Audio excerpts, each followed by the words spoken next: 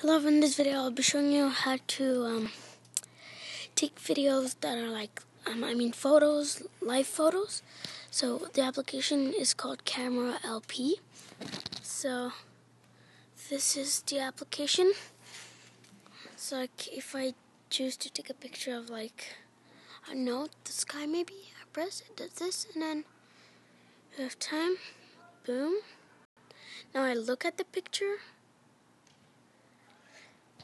now look at the picture. I press two times and this is what it does. Okay. Thank you for watching. And the application I'm using is AirShou. Thank you.